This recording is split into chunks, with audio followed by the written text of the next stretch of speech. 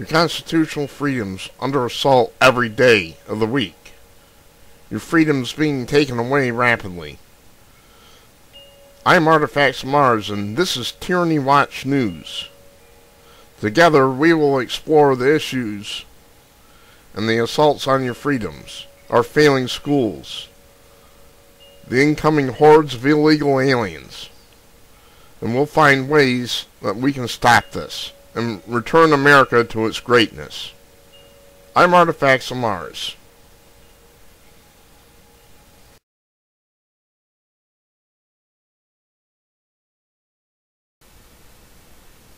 Well, this is Artifacts of Mars with Tyranny Watch News for the 25th of July 2014 and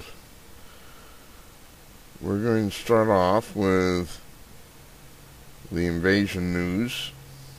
The country is being invaded. Police in Maryland have arrested six illegal immigrants, otherwise known as invaders, several of which are admitted MS-13 gang members in connection with the death of a homeless man killed outside a liquor store earlier this week. This is from Infowars.com. Amos Milburn Jones, 56-year-old homeless man, was beaten and stabbed to death outside of a shopping strip in Suitland, Maryland, early Tuesday morning after witnesses saw him arguing with a girl. Amos was hanging out with friends near a liquor store when he confronted the girl. An argument reportedly began. The young woman became angry and left. But she allegedly returned with a group of men who beat Jones and then stabbed him multiple times in chest and neck. Yesterday, Suitland police revealed the 17-year-old female and several of the other suspects were members of the notoriously hyper-violent multinational gang known as Mira Salvatra or MS-13. All suspects will be charged with first-degree murder. So, here you have the uh, invaders, as predicted, are getting out on the street and they're starting to kill people be one here and one there, and then it'll be two. It's going to get worse, people, if we don't get that border sealed and start deportations.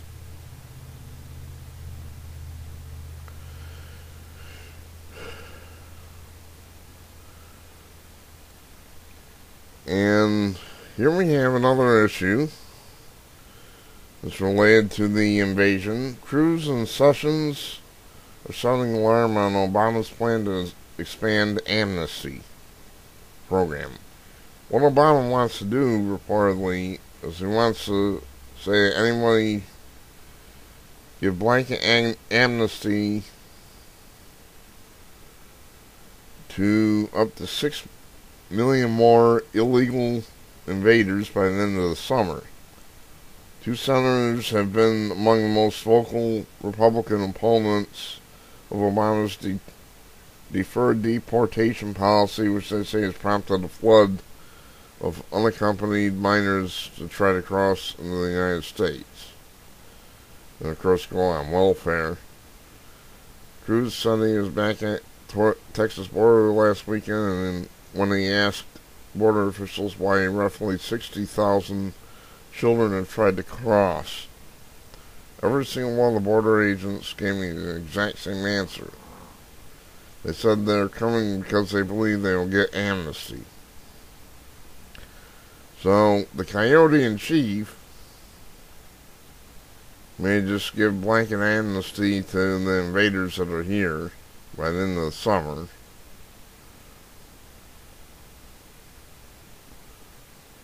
But it's going to get worse uh, before it gets better. I gotta find another story. Hold on.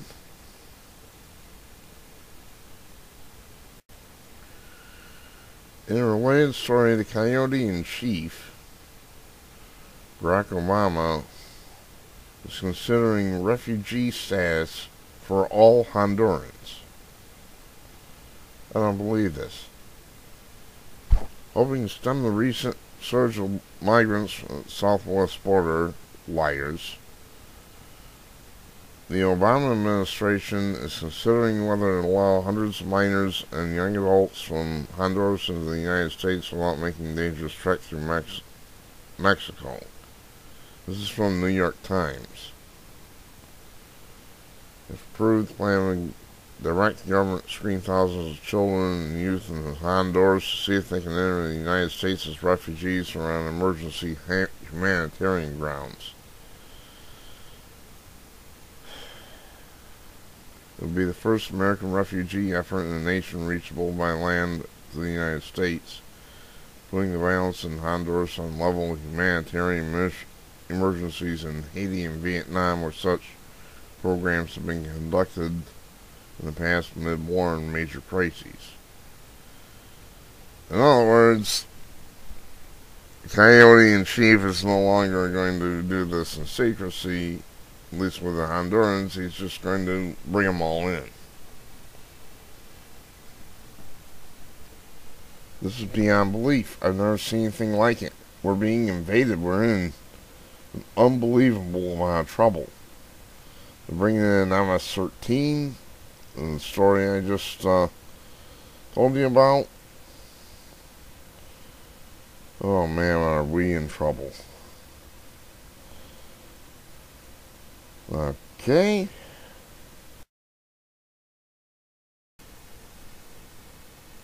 In Texas, the county commissioner is warning that there will be an immigrant tsunami if illegal immigrant children are housed there. That's Collin County in Texas. Reed is pushing keep Mark Reed is pushing to keep the subject on next week's court agenda. Meeting is scheduled at 1.30 on Monday for public input before county commissioners take action on the matter Tuesday.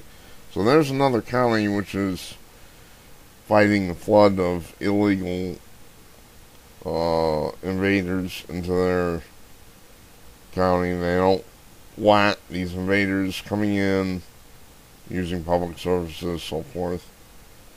You have to remember that what's going to happen with this, if it's not stopped, let's say we survive this, we don't have any violence, like I think we will, but what's going to happen is they'll form their own subculture, and they will be permanently on welfare, and of course, making new, uh, people all of whom will be on permanently on welfare. None of them will ever work. They'll never have to do anything.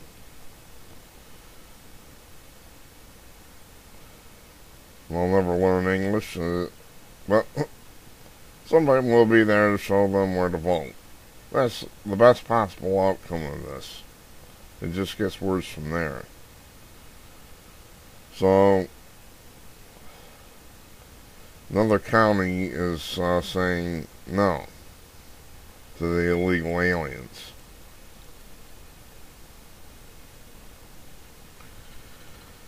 Alright, we're going to move along to other news. In uh, Israel, in the West Bank, there's uh, heavy fighting going on Israeli security forces have been put on heightened alert after two Palestinians were killed during a massive protest in the West Bank. So they're protesting, they're burning things, destroying things. Protests came hours after 15 people were killed and more than 200 injured when a UN-run school in the city of Beit Hanun, Gaza, was hit by an Israeli artillery shell. Israel sent and deployed thousands of security forces deployed in and around Jerusalem to deal with any disturbances. The uh, media all these sites with Palestinians. But I'll give you a little clue. There wasn't maybe a couple weeks ago. I put a story on Tyranny Watch where the I don't know if it was Tyranny Watch or another site, but there was a story that the UN had been found to have 20 rockets in one of their schools. 20 Hamas rockets. So, and then they acted innocent. Oh, we found them. We apologize to Israel. We're going to do an investigation into this. Hogwash. UN's in on this. Unbelievable. So, but the media has no problem drumming up sympathy. Uh, maybe that Israel wha- whacked the place because of, you know, rockets or whatever. They know what they're doing. It was hit by an artillery shell. Sorry, no sympathy here.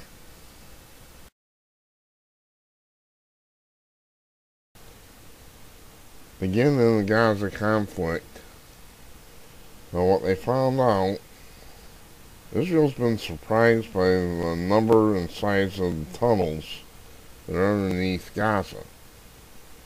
Apparently, what's been happening is that Hamas has been taking international aid that's supposed to be there to feed them, help build bridges, schools, whatnot. Instead of using it for the uh, intended purposes, they've been building a sophisticated underground terrorist city it's underneath fields, underneath schools. It's all through there apparently.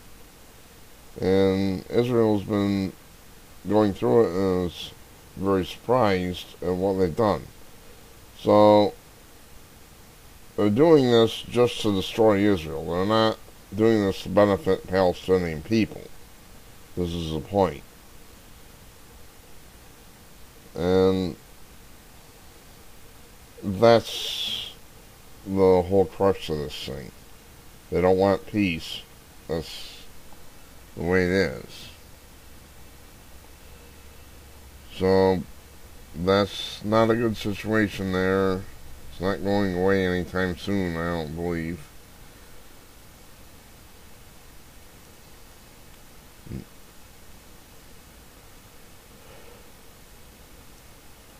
I got a story uh, from Infowars.com getting away from Middle East. Federal government is urging paramedics and firefighters to help find extremists. So while the illegal aliens, the invaders from the south are pouring into the country, federal government is asking paramedics and firefighters to be on lookout for extremists as part of a program that aims to uncover suspicious activity.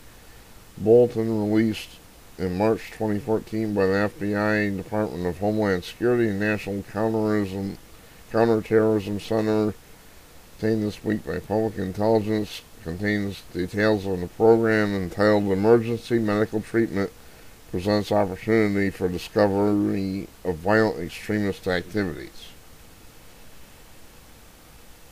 That means they're looking for another way to spy on you and use it if they uh, call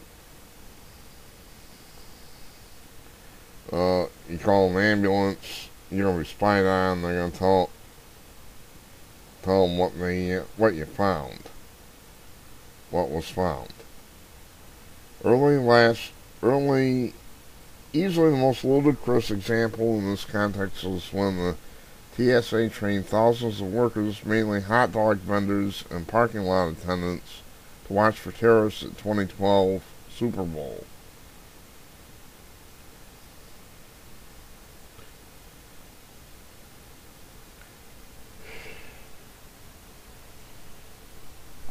Americans are more likely to be killed by plethora of mundane things in comparison to terrorism, including drowning in a bathtub, being struck by lightning, or being hit by an asteroid. So basically, they're clamping down, watching you closer and closer while they're letting all these illegals run rampant, kill people. And our Dilgaf story actually relates to that.